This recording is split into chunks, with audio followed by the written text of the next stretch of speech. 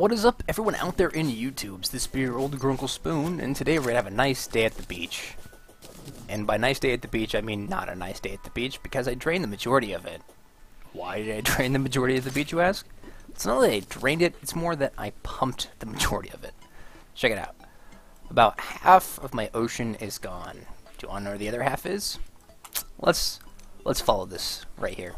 This this this magnificent laying of wire. Let's just keep on following it. Stupid slime bunny thing. I really want that bunny mask. We and keep on following it, and here we are at my dungeon. That's right. I have pumped my dungeon full of the ocean. Presumably, it's very salty now.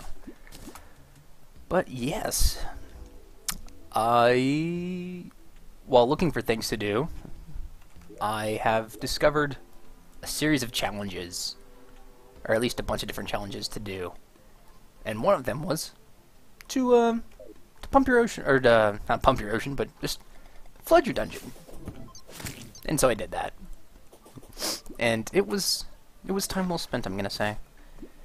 Oh yeah, it took me a long time, and pumping water is like probably the worst thing to do because the water physics a lot of the times like if you try to pump too much at once into a big open space, uh, it will water will freeze. I'm pretty sure you we've all encountered stupid air uh, bugs like that, you know.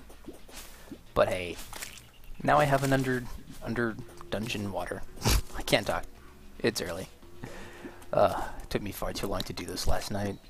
But yes, as you can see, my dungeon is completely submerged. Anyways, everyone out there on YouTube, flooding your dungeon. What? Did I just pick up a... Oh. I just... I, I thought it said blade of grass, and I got really excited because I didn't read. But yeah. Anyways, everyone out there on YouTube. Um, now you guys can go and flood your own dungeon as well. This took a lot of time, and it was... See? Look. There's a piranha right over there. It's it's just full of underwater life. but yeah, so thanks for watching. Um, and I will bring I will be bringing you guys more challenges that I do. My next one that I'm gonna try is I'm going to take my guide to the center of the Earth, and then throw him in lava down there. Should be a blast. Thanks for watching everyone out there on YouTube, and of course, have a good day.